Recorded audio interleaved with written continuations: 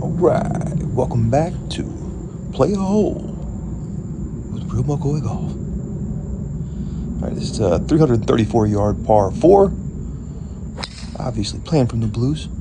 Hit a big time left to right cut here and ended up good.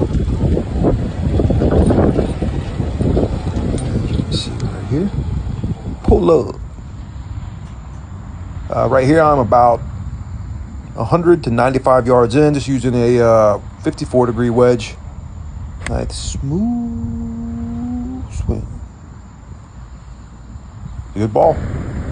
She's on the dance floor. Up.